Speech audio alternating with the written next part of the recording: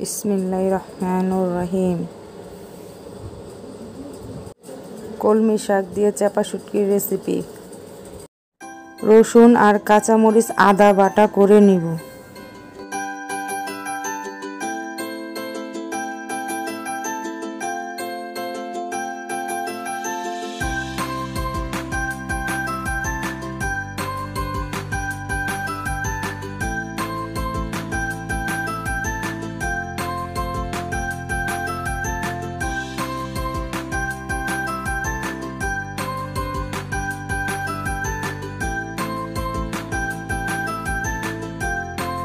ভিতরে শুটকিটা চেপাটা দিলে সুন্দর একটা ঘ্রাণ আসে।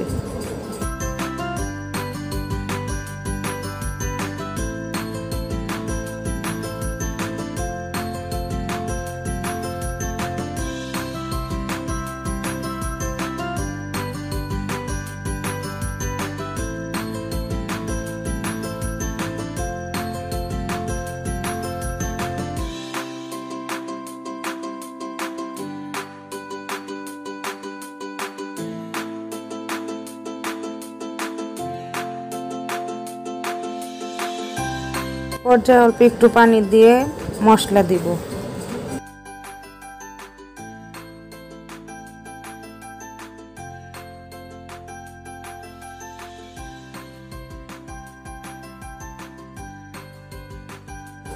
একটু হলুদ বেশি দিতে হয়, শাক তরকারিগুলিতে একটু হলুদ বেশি লাগে।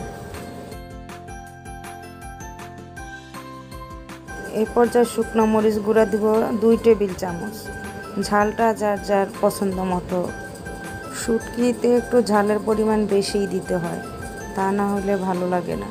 ওটাও স্বাদ অনুযায়ী।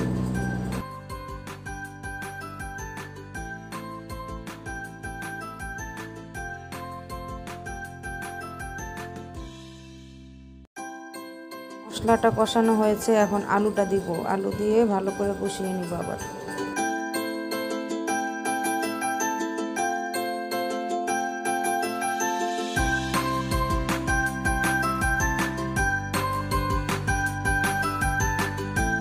কলমি শাকটা দিয়ে ভালো করে কষিয়ে নিব।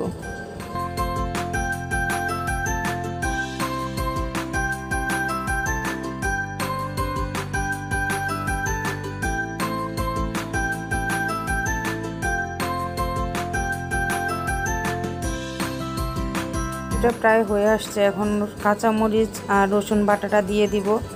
এই পর্যায়ে দিব কারণ অন্যরকম একটা ঘ্রাণ আসে।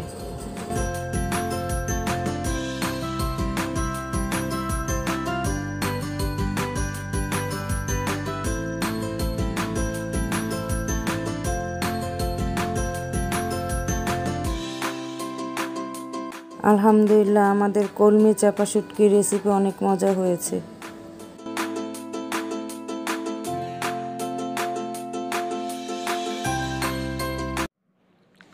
এই যে বন্ধুরা, তোমরা যারা সাবস্ক্রাইব করেছ, তাদেরকে অনেক ধন্যবাদ। আর নতুন বন্ধুরা, তোমরা প্লিজ আমাদের তাসিন কিচেনকে সাবস্ক্রাইব করো। বন্ধুরা প্লিজ আর বন্ধুরা, নতুন ভিডিও পেতে সাবস্ক্রাইব করো এবং বেল আইকনটি অন করে দিও বন্ধুরা প্লিজ।